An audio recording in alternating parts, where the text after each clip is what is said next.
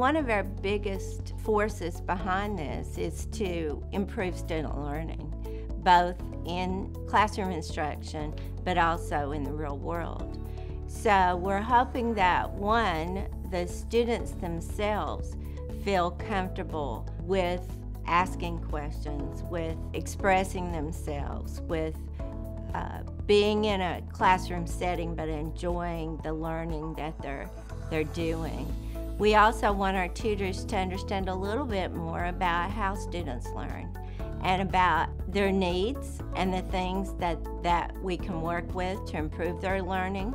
We're actually focusing on reading and math and the social emotional learning of the student. So we feel it's the whole child. We feel that that's the important part of this program is to address that whole experience.